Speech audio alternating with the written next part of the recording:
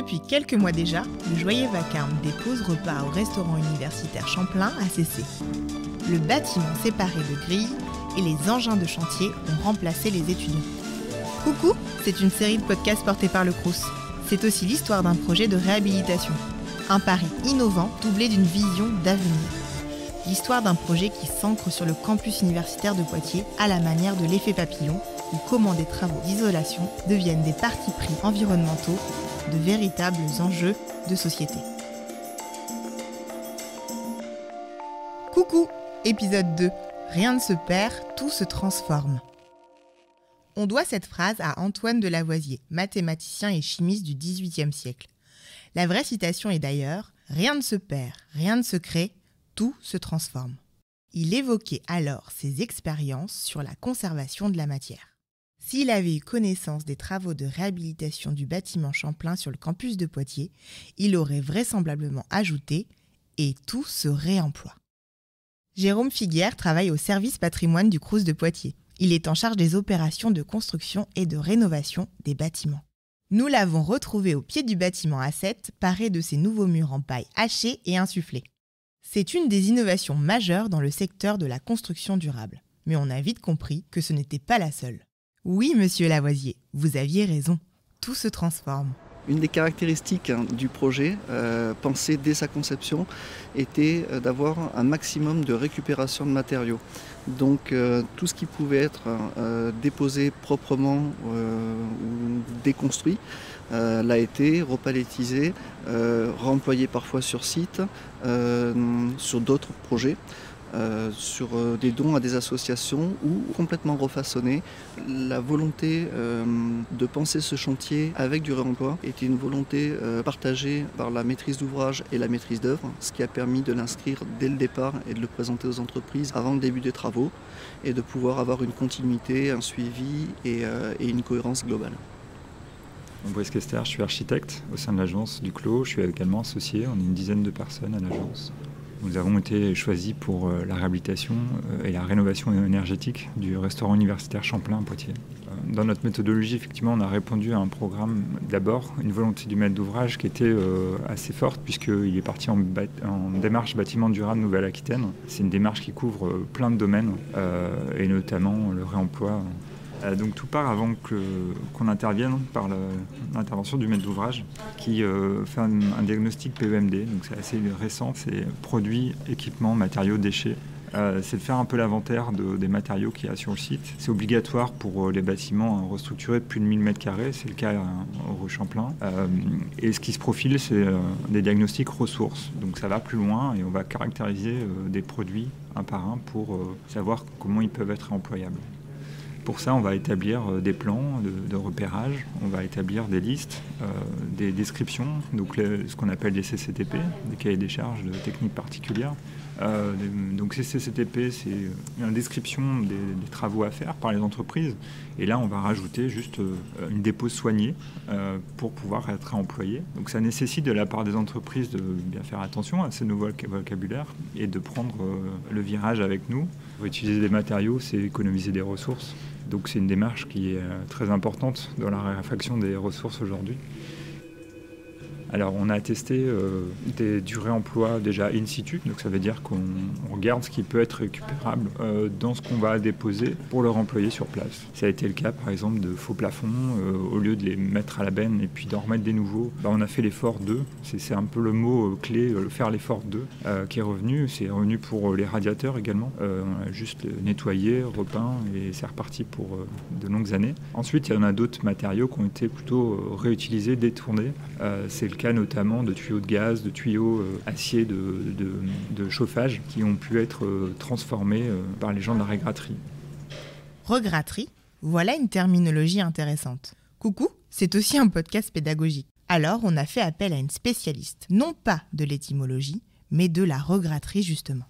La regraterie, c'est un terme qui nous vient du Moyen Âge, puisqu'à l'époque, les regrattiers, c'était les personnes qui récupéraient les restes alimentaires des hautes familles pour les réarranger et les revendre aux gens qui avaient moins de moyens dans la rue. Petit à petit, les regrattiers se sont mis à récupérer également des objets, des vêtements qu'ils ont réparés pour pouvoir euh, les remettre à disposition du public. Et c'est ce qu'on fait aujourd'hui encore. Je m'appelle Aurélie Joly et je suis chargée de communication à la regratterie. Je m'occupe également euh, du développement des projets, donc euh, solliciter les industriels, euh, les artisans pour récupérer de la matière. La regratterie, c'est une recyclerie associative et créative. C'est-à-dire qu'on récupère des matières, des matériaux, des objets auprès des particuliers, mais surtout auprès des entreprises. on remet ces matières à disposition du public dans une matériothèque une matériothèque, on peut voir ça comme une bibliothèque de matières. On va y trouver différentes matières, différents matériaux. Chez nous, principalement du métal et du bois, mais vous trouverez aussi du textile, du cuir, de la quincaillerie, de la mercerie, de l'outillage. Les matériaux que vous trouvez chez nous, ils sont amenés en partie par des particuliers, mais ils viennent surtout des entreprises qu'on est allé démarcher pour récupérer leurs rebuts de production, leurs rebuts artisanal. Il s'agit de rebuts de chantier, plus que de recyclage, on va parler de réemploi. Recyclage, réemploi, Décidément, ces notions reviennent beaucoup.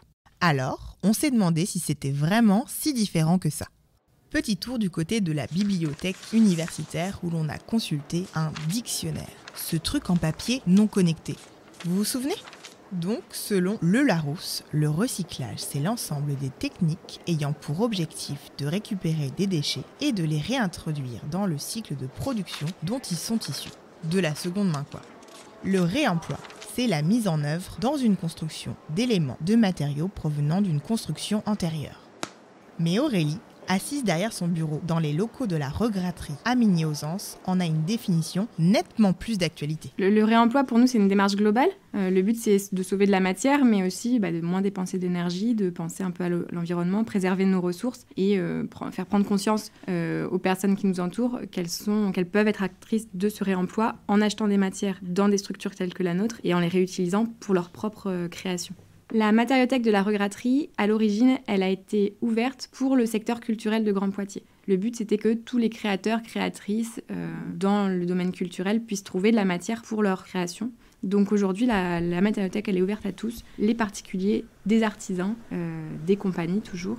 Et euh, en plus de proposer toute cette matière, on propose, nous, nos propres créations. Donc, monsieur et madame tout le monde peuvent venir nous commander du matériel, du mobilier, de la décoration, des luminaires. tout, ce qui, tout ce qui va utiliser du bois et du métal, parce que ce sont les matières qu'on maîtrise le mieux, c'est possible de venir les commander chez nous. Alors ça, c'est Toupi. C'est le chat qu'on a adopté il n'y a pas très longtemps. Viens ici, Toupi. Et donc on fait de la récup même d'animaux. Et plus que nous, c'est vraiment elle qui, a adopté les lieux. Euh. Amatrices et amateurs d'ASMR, à vos casques et écouteurs. Nous vous offrons quelques secondes d'une expérience sensorielle magique, le bien-être félin intégral.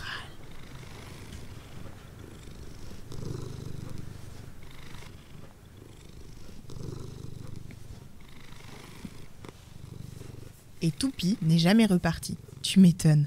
Ce chat vit dans une véritable caverne d'Alibaba, à quelques nuances près tout de même. Ici, le sésame n'ouvre pas les portes sur un trésor caché fait de pièces d'or volées par des cavaliers sans foi ni loi. Pas du tout.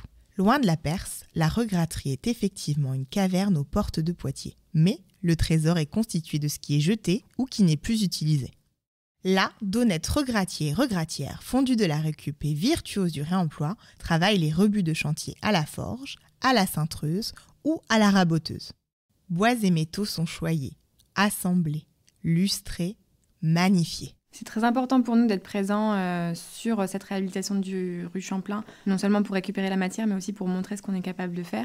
En installant devant le restaurant universitaire des appuis vélos, un totem fait à partir de matériaux de réemploi, c'est aussi un exemple qu'on montre à d'autres porteurs de projets qui seraient euh, à même de réhabiliter des bâtiments, de montrer que le réemploi, c'est pas juste euh, trouver des filières de recyclage pour les matières, mais c'est aussi le réemploi, faire du réemploi sur place et proposer de la création qui va être utile, mais également euh, très joli.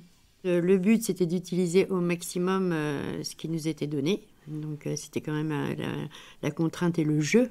Et du coup, on nous a dit on, a besoin d'aménagement extérieur, on a besoin d'un totem, de table et de claustra.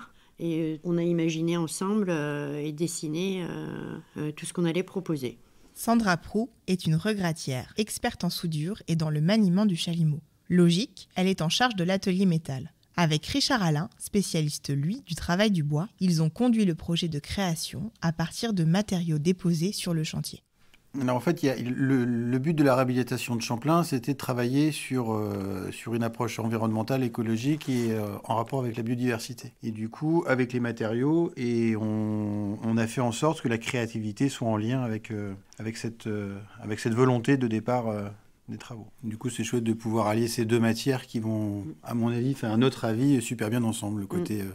voilà, métal et bois côté chaleur et, froid, entre guillemets. Et moi, je, par ailleurs, euh, je viens de Zoprod, euh, j'ai fait euh, plein de choses et je fais du mobilier. Et du coup, j'ai toujours mélangé bois et métal. Alors le, bois, c'est des bois de support de charge. en gros, c'est des cales de transport qui sont en hêtre et qui vont nous servir à destination des plateaux pour les tables et les étagères des, des. Et les assises des tables également. les tables, c'était une, idée créative de Sandra. Ces tables, elles ont des assises incorporées. J'avais déjà euh, fabriqué des tables comme ça. J'ai euh, réitéré parce que je trouve que, un, c'est joli et pratique. Et là, c'était adapté à la situation.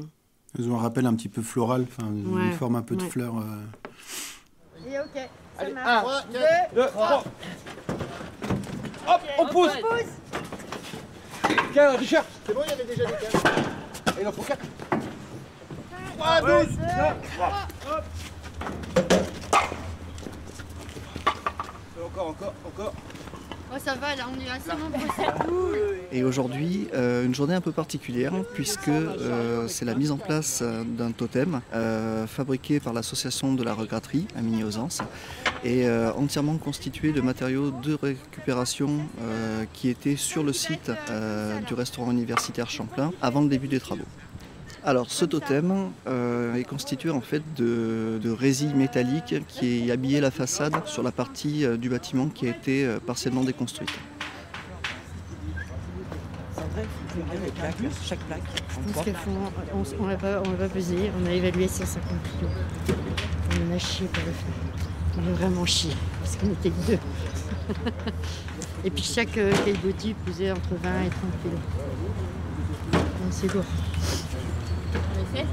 Il y a également euh, des, canalisations, des tuyaux de gaz qui ont été euh, retravaillés, refaçonnés pour euh, symboliser des branchages émanant des différents pans du totem.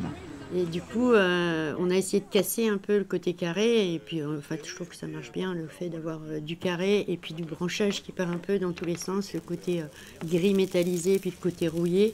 Voilà, en sachant qu'après, les choses vont être aussi assez végétalisées. Ouais. On va les mettre tous ensemble et on va souder, euh, on va souder ces, deux points là, celui-là et celui-là euh, sur ceux-là. Et ceux-là vont être fixés euh, au sol. Non. Tac, tac, tac, tac, tac, tac, tac, tac. Quand tu le vois faire, c'est simple. Hein. T'entends le chant du tube, Thomas?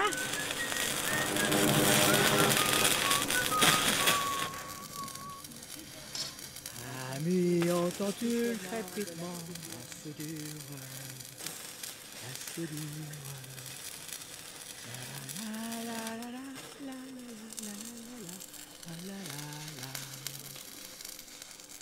Face à nous, nous avons donc le totem.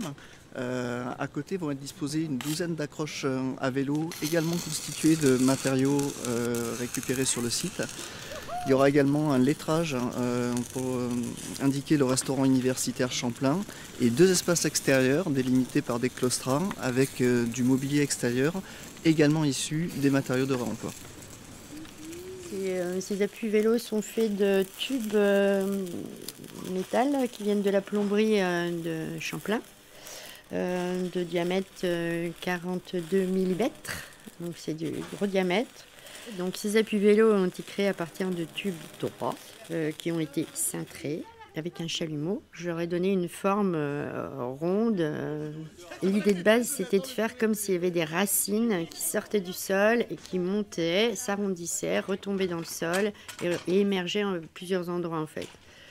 Et euh, donc on en a fait 14 comme ça. Ils sont juste, ils ont été rouillés et puis après ils ont été vernis euh, au rustol. Donc là pour le moment on garde encore euh, toutes les nuances de la rouille et c'est très très très joli. Mais avec le temps en fait ce marron avec plein de nuances va devenir un marron un peu uniforme et après ça bougera plus. Je trouve, ça, je trouve ça chouette, ça donne une âme aussi à ce projet. Et puis de, de dire qu'il y a encore des traces de peinture, de, des tuyaux jaunes, de gaz. C'est ça que je trouve euh, vraiment bien dans le remploi, c'est qu'on raconte des histoires et on ne perd pas le fil, on ne repart pas à zéro à chaque fois. Et c'est une continuité. Ce bâtiment, il existe depuis 60 ans et il continue à vivre, euh, il évolue. Voilà. Il n'est pas cassé pour être mis à, à neuf et on ne raconte pas une nouvelle histoire, c'est une continuité de l'histoire. Une continuité de l'histoire qui s'écrit même jusque sur les toitures. Les graviers issus des toits terrasses du rue Champlain devaient être évacués. Pour les faire passer du statut de déchets à celui de ressources, Brice Kester les a proposés à un autre maître d'ouvrage, l'Université de Poitiers en l'occurrence, qui avait besoin d'imperméabiliser le toit terrasse d'un bâtiment nouvellement construit. Résultat de la concertation, 160 tonnes de gravier transférées pour protéger du neuf avec de l'ancien, soit environ 80% de valorisation de la masse de déchets totale générée sur le chantier. Donc à ce jour, euh, c'est à peu près 180 tonnes euh, de matériaux qui ont été euh, déposés proprement pour réemploi et réemployés. C'est une vraie volonté également de, travailler avec des circuits les plus courts possibles. Donc au niveau des partenaires qui ont, pu, qui ont pu participer à cette logique de réemploi, il y a des associations comme VMS, la regratterie, les usines qui sont, qui sont dans le maillage local. on a eu dans les bénéficiaires l'université, évidemment euh, le bâtiment lui-même. Autre vertu du réemploi, euh, étant sur des circuits relativement courts, euh, ces actions permettent de contribuer, à la réduction de l'empreinte carbone du projet. Et ça, c'est plutôt une bonne nouvelle, parce que réduire l'empreinte carbone, c'est faire baisser la quantité de gaz à effet de serre produite dans le cadre de ce chantier.